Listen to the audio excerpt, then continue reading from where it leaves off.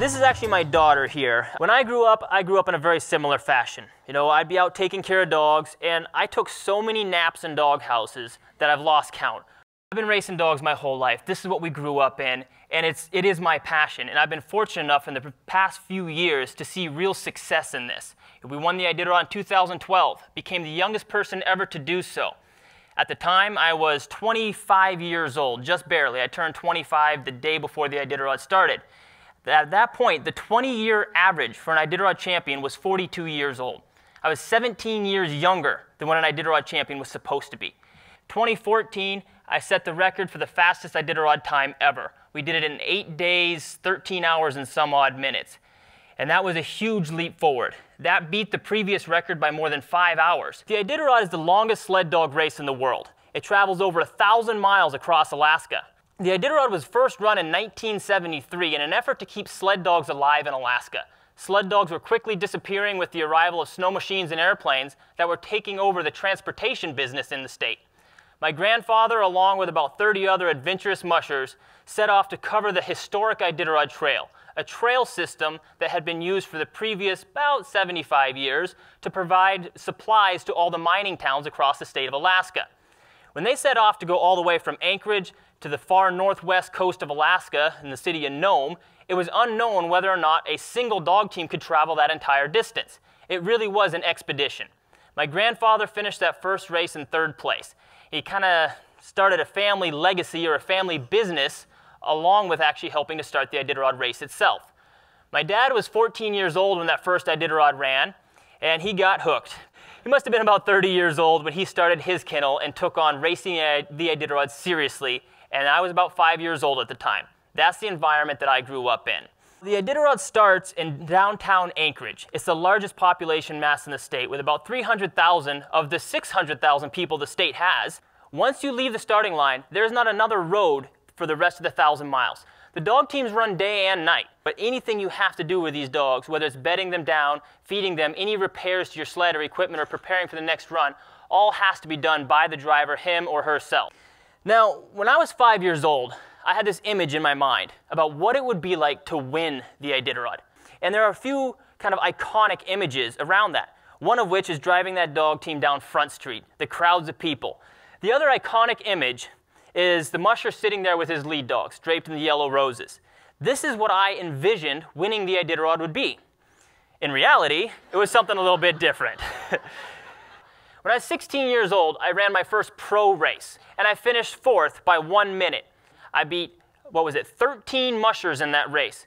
And at the time, I thought this was the perfect race.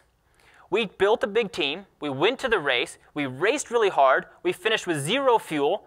I ran the last 20 miles of that race in front of the sled, in front of the sled, actually pulling with the dogs. In racing, and in my mind, this was viewed as the perfect race, finishing with zero fuel left in the tank knowing your team well enough to know exactly how much fuel and how hard you could push and still be able to reach the finish line. I wanted to become the youngest person ever to win the Iditarod. We gave us four Iditarods to accomplish that goal. So the dogs that I was able to procure for that 2009 Iditarod were later kindly referred to as the Scrubs. They were the biggest mixed match group of dogs you could possibly imagine. Every single dog on my team had failed in another kennel. The only consistent factor in these dogs is they'd all proven that they couldn't hang with the big boys. As I went through the team and tried to figure out what has caused each of these dogs to fail in the past. We tried to look at it from their eyes. And what we saw is that doing the longer runs, the big long trips, the big hard pushes are the things that brought out the weaknesses in these dogs racing at my dad's level, where most of them had been, they had been expected to do 70 to 80 mile runs, recuperate in maybe five to six hours, and then get back on the trail again. We knocked it back to a sustainable pace. We brought it down and had to rebuild the dog's confidence. That was one of the hugest factors here. And we never did a run more than 40 miles. We set that as a standard. We wanted these dogs to know that every time we took off, as long as I was on the back of the sled, their new musher, we were going to do something that they were capable of we set small goals to begin with.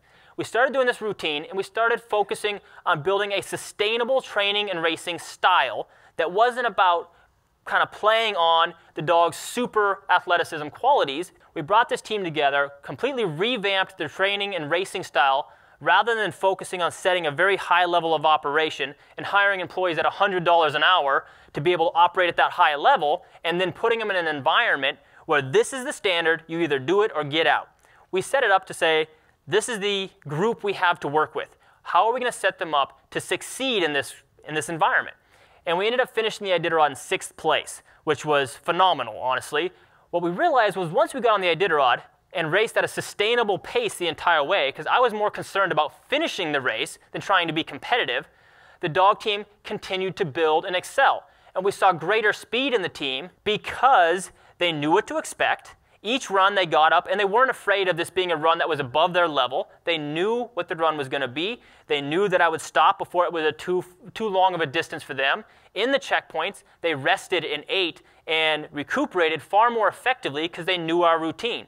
My realization was that our previous thought on racing dogs, the idea that a race was about going out there, building up the team, and then starting the race and pushing as hard as you can, was not the best way to do it. You could sustain a team. You could build a team over the course of the race. And we started working on this kind of theory of building a positive spiral. Well, each success built on the previous success, rather than the negative spiral that most mushers had been operating on, where they would do a big challenging run, and the best 75% of the athletes in the team would eat well, the other 25% would be suffering or struggling, and then again, the dogs would be a little bit weaker on the next run, and it would appear to be a bigger challenge to them because they hadn't recuperated well in 2012, after having continued to work on the same theory, I guess, for the past three years, we set off on our final chance to become the youngest person ever to win the Iditarod.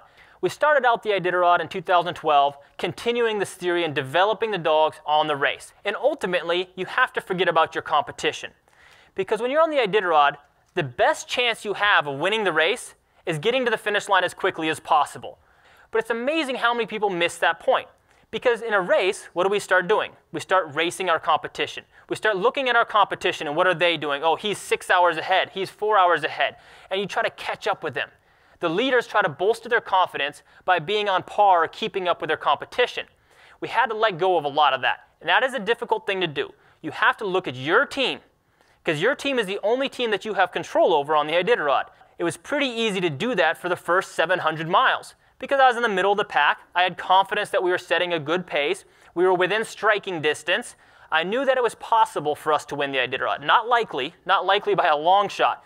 The only problem came along about 300 miles into the Iditarod when our style was working so well that I was actually in the lead of the race at 300 miles to go rather than being in position to catch up with 300 miles to go. That had been our plan.